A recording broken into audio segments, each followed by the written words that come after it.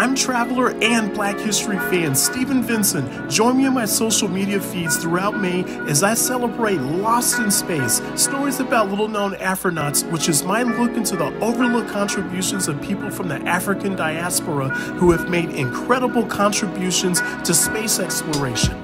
Travel the world, celebrate your history. This is Safiri.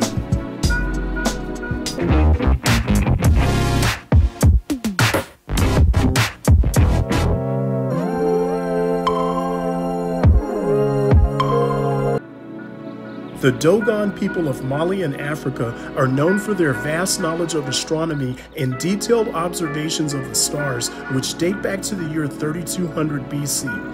The Dogon knew of Saturn's rings, Jupiter's moons, the structure of the Milky Way, and the orbit of the Sirius star system for thousands of years. To this date, the astronomical knowledge of the Dogon people is so advanced it is still unknown how it was acquired. However, their knowledge helped in the foundation of today's space exploration. Before Afronauts took flight, it is important to understand the foundations for modern space exploration. The people of the Nabta region, located in far southwest Egypt, are now widely believed to be some of the earliest known astronomers. In researching the NASA astrophysics data system, I discovered that a structure built by the Nabta Playa people contained a complex map of the Milky Way that dates back to the year 17,500 BC. Other structures in Playa date back to 4600 BC and are aligned with stars such as Vega, the Orion Belt, Sirius, and Centaur. Another African location that demonstrated knowledge of the stars is shrouded in mystery. Namoratunga, located in Kenya, is widely believed to be the first astronomy site in sub Saharan Africa, dating back to the year 300 BC. The site contains two stone circles that align with 25 star groups, including the Sirius and Orion systems.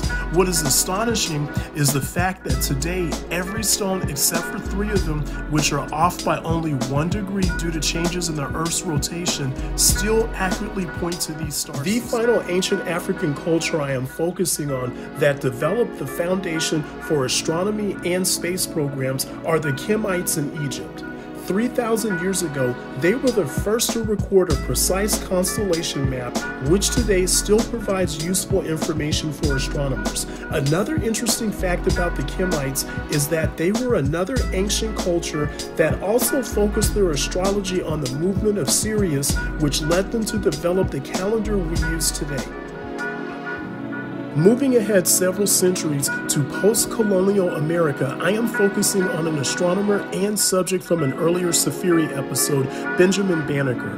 During his childhood, Banneker was able to gain knowledge of astronomy from his father, who was abducted into slavery from a royal family in what is now modern day Guinea in Africa. Banneker also went on to teach himself complex astronomical calculations, which in 1791 led him to become a well known Almanac series author who documented precise positions of the stars.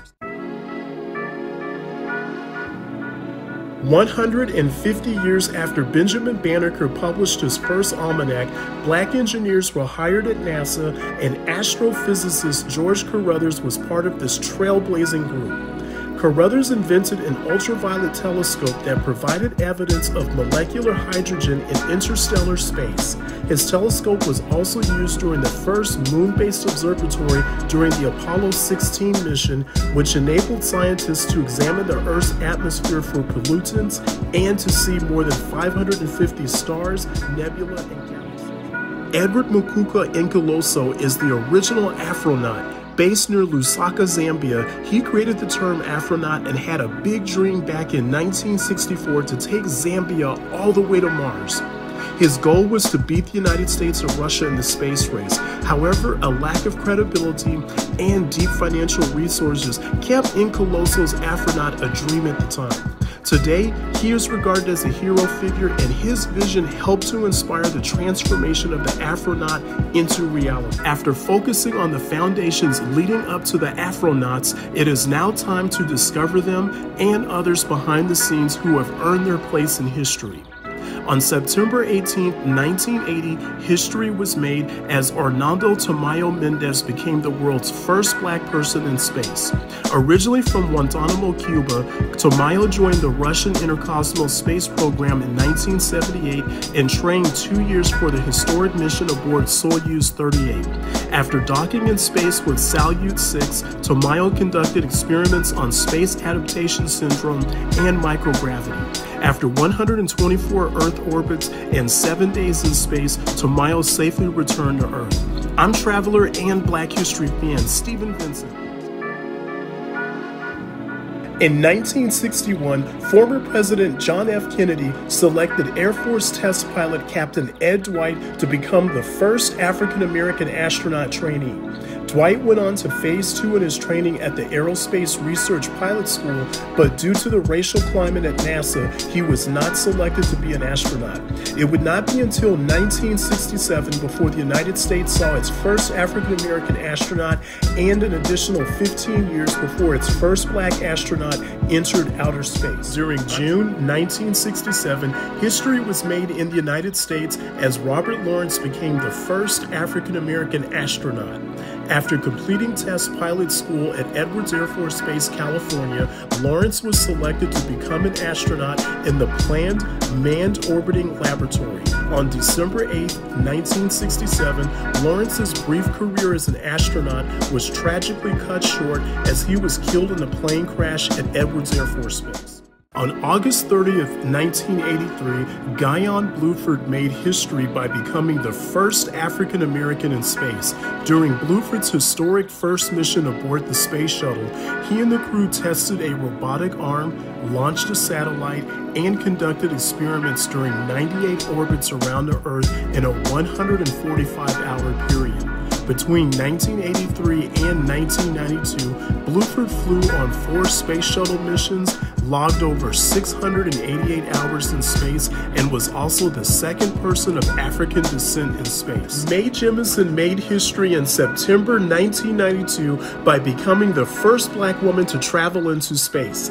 Jemison's NASA career started in 1987 after she was selected out of 2,000 applicants to be one of the 15 candidates in NASA Astronaut Group 12. During her historic 1992 journey, Jemison served as a mission specialist on the Space Shuttle Endeavour, where she spent eight days in space.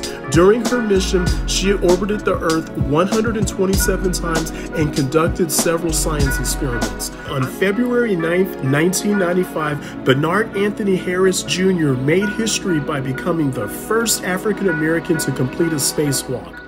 Harris made the historic trek during his second mission aboard the Space Shuttle. He started his NASA career back in 1987, and his first assignment was aboard Spacelab D2 in 1991. Another astonishing fact about Harris's career as an astronaut, he spent over 438 hours and traveled 7.2 million miles in space. After his historic tenure, Harris left NASA in 1996. Our next Afronaut is Charles Bolden Jr., who started his NASA career in May 1980. Bolden spent over 680 hours in space and piloted space shuttles Columbia and Discovery. He also served as mission commander aboard space shuttles Columbia and Atlantis. The capstone of Bolden's stellar career was his 2009 appointment by President Barack Obama as the first African American NASA administrator. Bolden served in his leadership role at NASA until his retirement in 2017. As we continue our discovery of the Afronauts, let's focus on some lesser known names. Frederick Gregory became an astronaut in 1978, and he is a veteran of three space shuttle missions and spent over 455 hours in space. Gregory retired in 2005 as NASA's deputy director. Winston Scott became an astronaut in 1992 and has flown on two space shuttle missions and completed three spacewalks. Robert Curbeam became an astronaut in 1994 and has completed three space shuttle missions, three spacewalks, and spent over 593 hours in space. Victor Glover started his astronaut career in 2013 and is set to make history as he might be aboard a future SpaceX Dragon mission in August 2020 as they launch into space headed towards the International Space Station. Stephanie Wilson started her NASA career in 1996, flew three space shuttle missions, and has spent the most time in space than any other astronaut with well over 1,000 mission hours logged.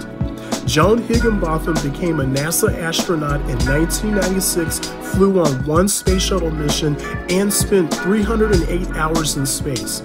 Yvonne Cagle started her astronaut career in 1996 but did not fly a space mission. Jeanette Epps was selected to become a national astronaut in 2009, and up until 2018, she was set to become the first person of African descent to live on the International Space Station. Our newest female astronaut is Jessica Watkins. She previously worked as a planner for the Mars 2020 rover, started NASA astronaut training in 2017, and has not yet flown a space mission. Leland Melvin started his astronaut career in 1998 flew on two space shuttle missions and served as NASA's Office of Education Associate Administrator from 2010 until 2014. In July 2000, Benjamin Drew started NASA astronaut training and has flown on two space shuttle missions.